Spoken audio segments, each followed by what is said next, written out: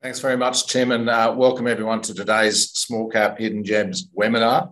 Uh, I'm going to start, I suppose, in the clouds, and we'll get down into the, the detail of these interesting businesses as, as we go through the, the next uh, half an hour or so. But uh, I suppose just starting with the global macro situation, my role here as Chief Investment Officer at Shaw and Partners is, I suppose, to try and set the sails for our advisors and clients in terms of what sort of portfolio positioning they should be taking on what what the sort of risks are that they should be thinking about in terms of their portfolios and where the opportunities might lie. So at a very very high level, we need to think firstly about playing offensively or defensively, or are we sort of leaning into markets or are we leaning away from them? So the things we really look at here are global growth.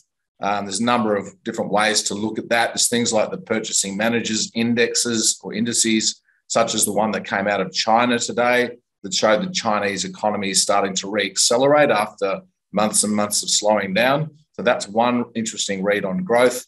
Um, there's obviously things like earning analysts' earnings estimates, and, and that's quite interesting at the moment because the economic data that's coming through shows that you know c- consumption spending in Australia and some other countries is holding up quite well. But we know that companies are getting very, very nervous about the outlook going forward. So, what analysts are seeing from companies in terms of earnings estimates, and thirdly, really is look is leading indicators. There's a couple of groups globally that put together statistics that are designed to try and interpret whether think the economy is going, whether it's speeding up or slowing down. So the Conference Board in the United States is one such group. The OECD in um, in France is another one. So we look at those measures as well. Now, pretty much across the board, they're all pointing to slower growth. So we, we are seeing expectations of global growth continuing to slow.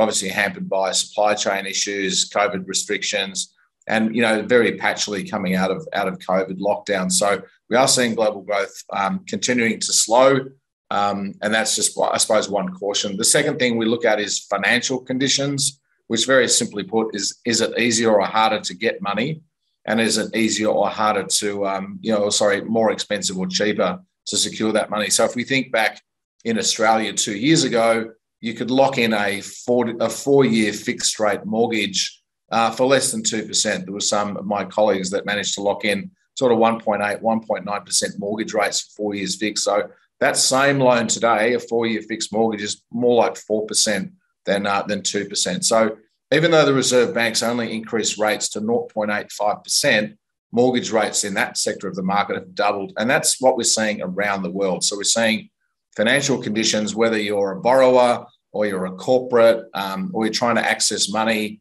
um, you know, consumer lending, etc. All of these uh, forms of credit are becoming more expensive and more difficult to get. So we've gone from having a, a world that was awash with money to is now getting a lot tighter. And again, markets don't like tightening financial conditions. So I suppose that's warning sign, warning sign number two.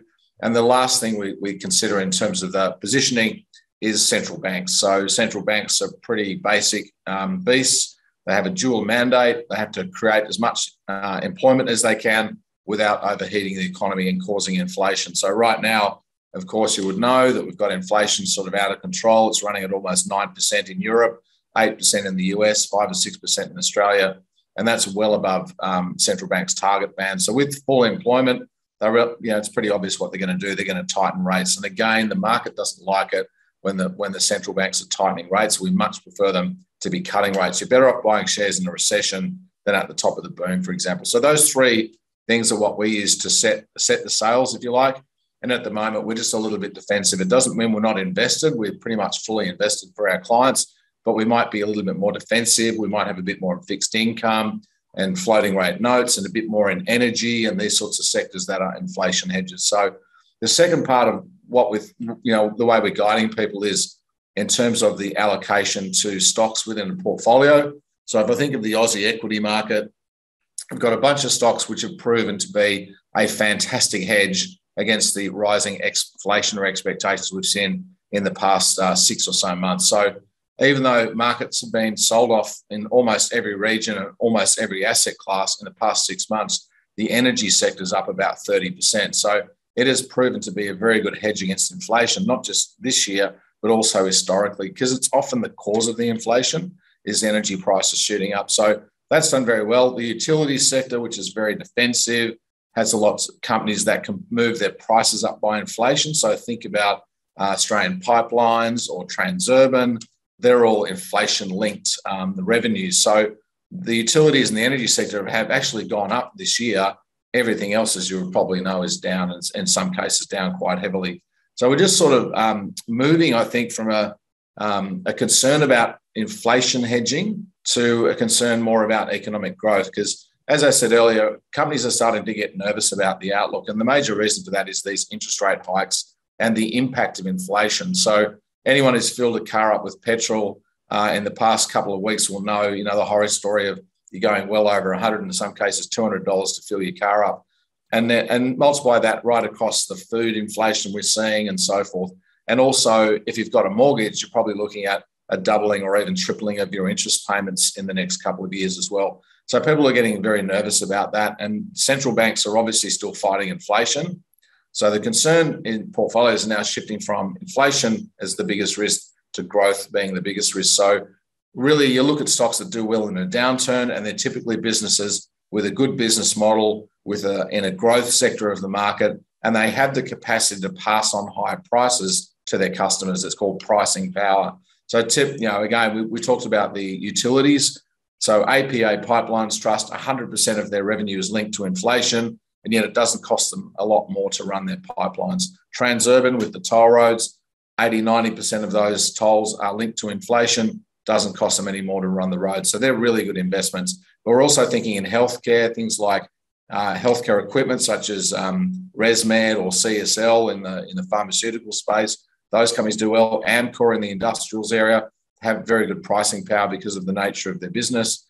Uh, Brambles in the pallets. So there's quite a few companies that will do well, uh, relatively speaking, in a downturn. So I suppose to put that in a nutshell and, and, and to pass back. Um, just a little bit more defensive on the positioning, just being a bit more cautious. Um, you know, markets will probably continue to be volatile, so we're staying defensive within equity portfolios. Maybe thinking more about um, am I recession proof? Is my business recession proof? And I'm sure some of the stocks we're here today will have a, a pretty good growth story. Should see them perform well uh, during a downturn. So with that, I'll pass back to you, Tim. Thanks, Martin. Thanks for that. It's always good to get an expert's opinion on what is a uh, very volatile market.